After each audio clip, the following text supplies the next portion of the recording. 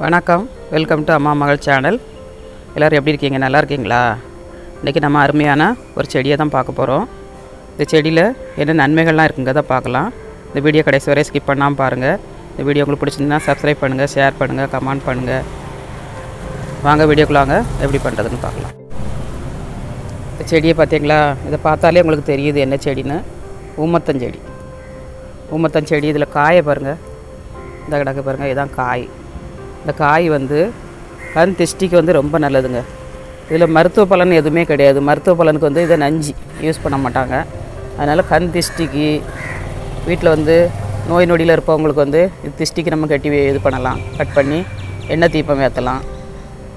அப்புறம் கல்யாணம் முடியாத குழந்தைகளுக்கு வந்து கல்யாணம் முடிக்கிறதுக்கு எல்லாத்துக்குமே நம்ம ஒம்பது வாரம் ஏழு வாரம்னு நம்ம வீட்டில் விளக்கேற்றி வந்தோம்னா இது நல்ல பலன்கள் கொடுக்கும். உங்களோட நஜர் வந்து நமக்கு விழாது. விழாதபடி நமக்கு இது காப்பாற்றி கொடுக்கும். அந்த மாதிரி அற்புதமான செடி இது. இதில் எவ்வளோ காய் கிடக்கு பாருங்கள் பார்த்தீங்களா? இதுதான் ஊமத்தங்காய் இது வந்து பூ. அதோட பூ. இது வந்து சிவனுக்கு வந்து முள் நிறைய இருக்கும். பார்த்து பறிக்கணும். இதில் வந்து பாதி முக்கால்வாசிக்கு மேலே நீங்கள் கட் பண்ணி எடுத்துக்கோங்க.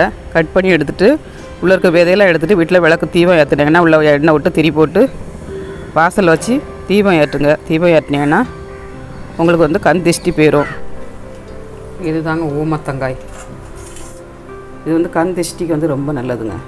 நம்ம வீட்டில் வந்து திஷ்டி நிறைய இருந்துச்சுன்னா கடைகள்லையோ வியாபாரம் லைன்லையோ எதில் நிறைய திஷ்டி இருந்துச்சுன்னா இந்த மாதிரி நீங்கள் எடுத்துக்கோங்க. ஊமத்தங்காய் பறிச்சிட்டு வாங்க. இது குளத்தங்கரை ஆத்தங்கரை எல்லா இடத்துலையுமே கிடைக்கும் இது. இதை நீங்கள் பறிச்சிட்டு வந்து வீட்டில் இதை கட் பண்ணி விளக்கு போடணும். ஏழு நாளைக்கு ஒம்பது நாளைக்குன்னு சொல்லி நீங்கள் வெள்ளி செவ்வாய் அமாசி பௌர்ணமிக்கு நீங்கள் விளக்கு போட்டு வந்தீங்கன்னா இது வந்து நம்ம வீட்டில் திஷ்டி விழாது. திஷ்டி விழாமல் இது பாதுகாத்துக்கிடும் இது வந்து உள்ளுக்குள்ளே நம்ம சாப்பிட்றதுக்கு எடுக்கவே கூடாது நஞ்சி. அதனால் இதை நம்ம திஷ்டிக்கு தான் யூஸ் பண்ணணும். இது வந்து இப்படி கட் பண்ணிவிடணும்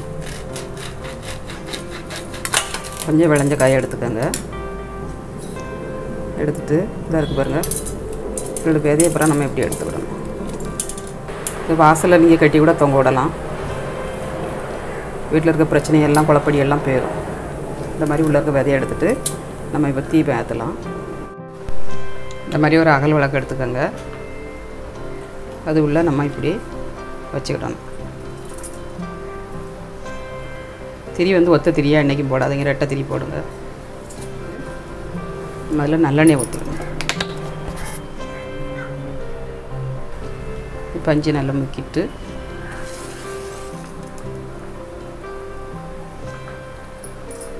இந்த மாதிரி வச்சு தீபம் போடுங்க. ரொம்ப நல்லது. இதாங்க ஊமத்தங்காய் பார்த்துக்கங்க நல்லா. காட்டுகள்லாம் கிடக்கும். இந்த மாதிரி தீபம் ஏற்றி வாங்க உங்களுக்கு வீட்டில் இருக்க பிரச்சனையெல்லாம் சரியாயிடும் மீண்டும் நெக்ஸ்ட் வீடியோவில் சந்திப்போம். வணக்கம்.